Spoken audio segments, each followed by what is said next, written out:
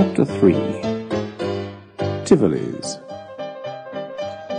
Tivoli's was a small restaurant with ten small tables and chairs.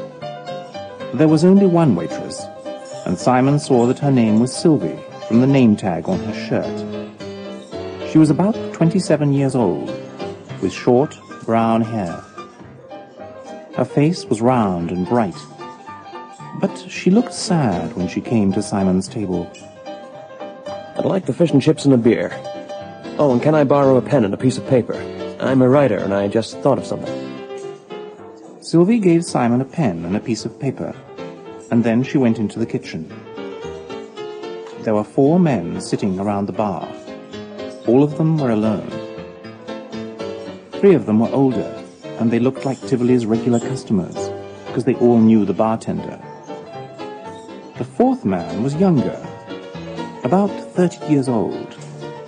He had his coat on, and there was a tall glass of cola in front of him. He looked up every now and then to look at Sylvie. Simon decided that he was one of Freeze's men.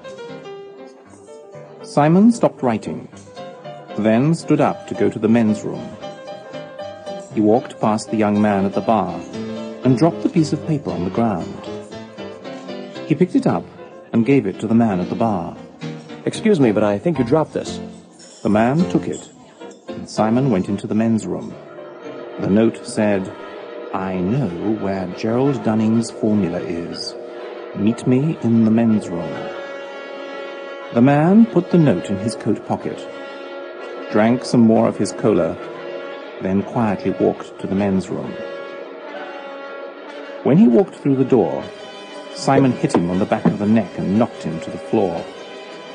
He took the man's identity card and his gun. When Simon left the men's room, he saw Sylvie walking into the kitchen. He followed her inside and took her arm.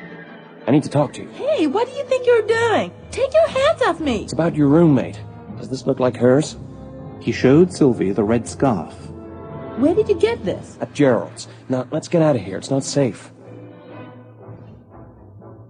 Outside Tivoli's, Simon told Sylvie to get into his car. I can't leave my job. What will I tell them? Besides, who are you anyway? I'm Simon Decker. I'm Gerald's neighbor. I just knocked out someone who was watching you. I'm sure he has something to do with Gerald's murder. I think your roommate is in a lot of trouble. You probably are too. Now, you can either get in the car and help me find your roommate, or you can go back to work and hope she doesn't get killed.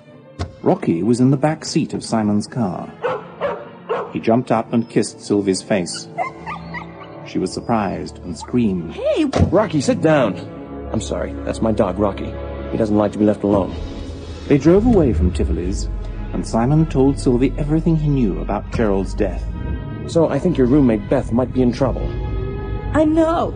I haven't seen her in two days. She told me she and Gerald worked on something that might be dangerous. Do you know what it is? No, Do you know where she might be? I think so. Well, tell me how to get there.